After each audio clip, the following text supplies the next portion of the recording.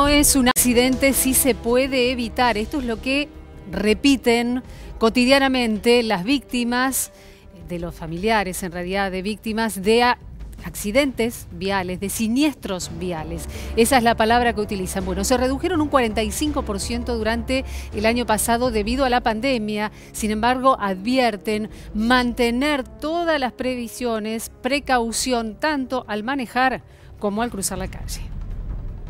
Según un informe de la Agencia Nacional de Seguridad Vial, las muertes en siniestros de tránsito bajaron un 45% durante 2020.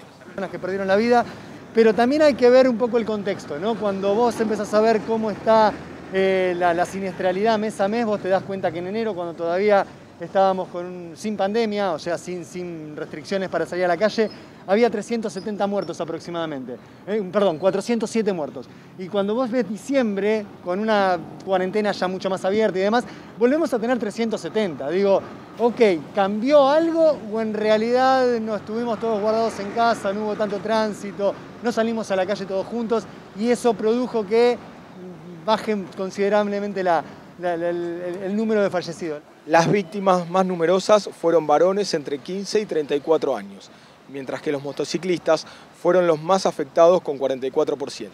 El 81% de las personas eran varones. Digo, el 17% eran mujeres y el 2% no, no, hay data. Pero digo, 81% de varones. Chicos, ¿no tendríamos que, empezar a hacer algo? Porque lo tenemos como bien definido. Franja etaria de los más, de los que perdieron la vida, de 15 a 34 años. El informe en números revela que el año pasado fallecieron más de 3.100 personas en siniestros viales, sobre un total de casi 2.800 accidentes fatales. No tiene que venir esta gestión o la anterior. Digo, desde Alfonsín a la fecha pasaron todas las gestiones y la educación vial en algún punto yo creo que sigue siendo una materia pendiente.